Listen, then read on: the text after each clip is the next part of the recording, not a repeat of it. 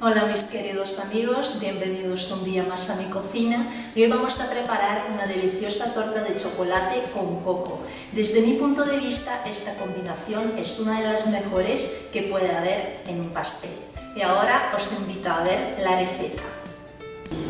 Para preparar el bizcocho necesitaremos 350 gramos de harina de trigo, 400 gramos de azúcar blanca, 55 gramos de cacao en polvo, una cucharadita de bicarbonato de sodio, una cucharadita de polvo para hornear, dos huevos grandes o tres pequeños, una cucharadita de esencia de vainilla, 300 mililitros de leche entera, 300 mililitros de agua hirviendo y 65 mililitros de aceite de girasol sin olor. Además necesitaremos un molde yo lo forré con el papel para hornear por dentro y con el papel de aluminio por fuera, ya que este molde es desmontable.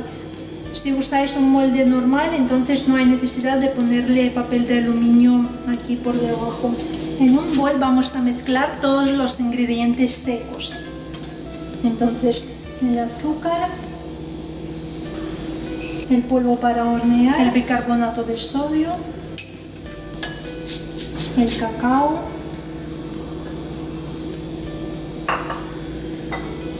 y la harina.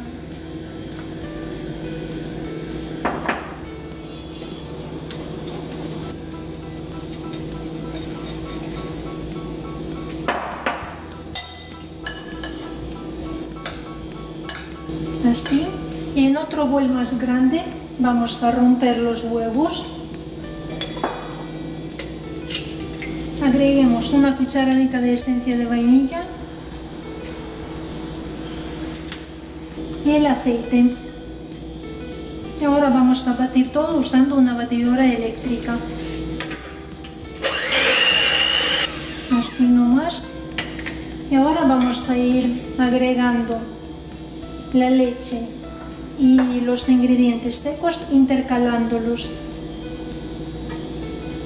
y seguiremos batiendo. Vamos a limpiar los bordes usando una espátula.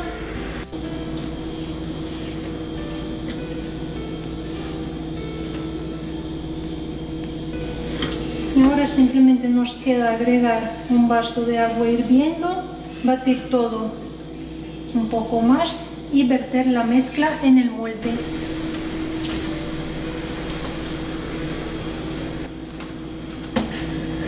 hay que mezclar todo con mucho cuidado. La masa debe quedar así de líquida. El horno lo tengo precalentado a 180 grados con calor por arriba y abajo.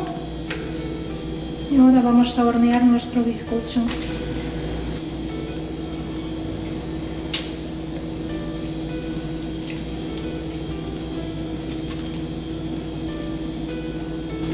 En mi caso el tiempo del horneo va a tomar alrededor de una hora o más aún. Más tarde os voy a decir la hora exacta.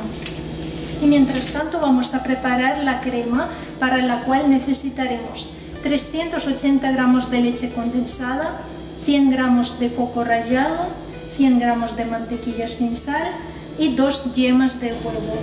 Vamos a poner todos los ingredientes en una cacerola o en un cuenco entonces primero voy a separar las claras de las yemas, luego agreguemos la mantequilla, la leche condensada y verutas de coco.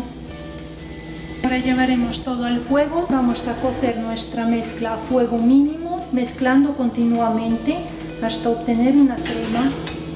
Han pasado 5 minutos, ya apagué el fuego, la crema por ahora se ve así, pero cuando se enfríe va a quedar más espesa. Entonces ahora la voy a poner en un molde y la voy a cubrir con una bolsa de plástico.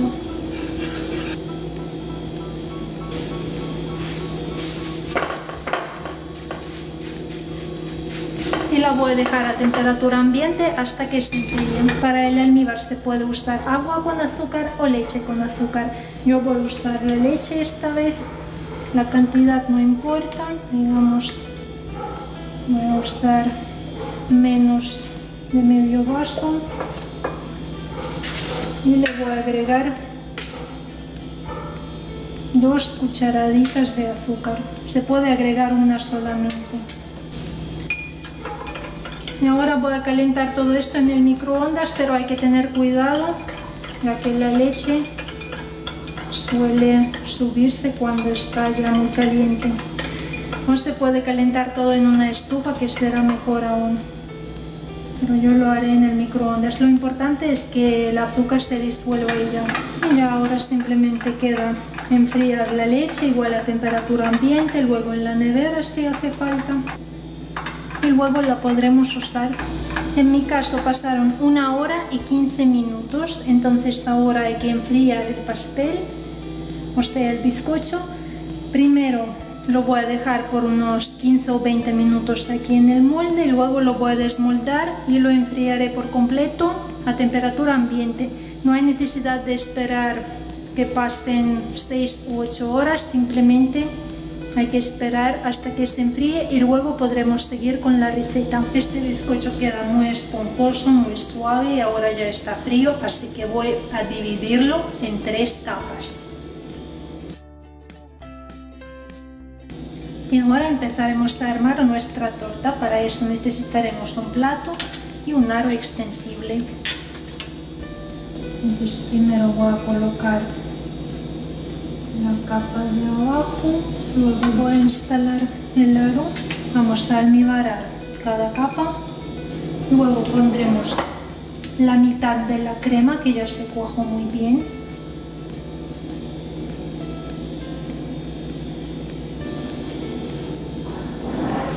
luego repetiremos la misma operación con la siguiente capa.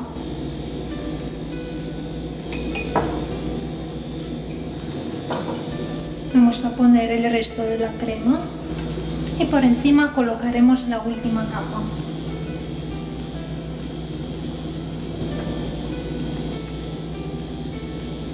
Y esta solo la vamos a almibarar. Y como habéis podido ver, usé toda la leche que tenía aquí en el vaso. O sea, esta cantidad fue justo la necesaria. Voy a cubrir la torta y la dejaré por toda la noche en la nevera para luego seguir con la receta. Y para cubrir nuestra torta por encima vamos a preparar otra crema para la cual necesitaremos 180 gramos de leche condensada, 140 gramos de mantequilla ablandada sin sal, es importante que esté a temperatura ambiente, igual que la leche condensada.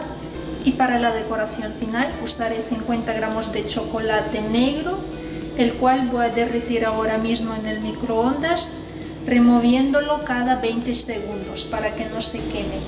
El chocolate lo vamos a enfriar por completo a temperatura ambiente y mientras tanto vamos a batir primero la mantequilla durante 3 o 4 minutos. Y luego sin parar de batir le vamos a agregar poco a poco la leche condensada. Y seguiremos batiendo unos minutos más hasta obtener una crema. Y amigos nuestra crema está lista. Mirad cómo se ve por cierto, sirve perfectamente para decorar las tortas, porque tiene una consistencia bastante espesa. La torta pasó en la nevera toda la noche y ahora voy a quitar el aro extensible para poner la crema por encima. Ponemos una buena capa por encima y un poco por los lados, los cuales luego vamos a decorar con el coco rallado.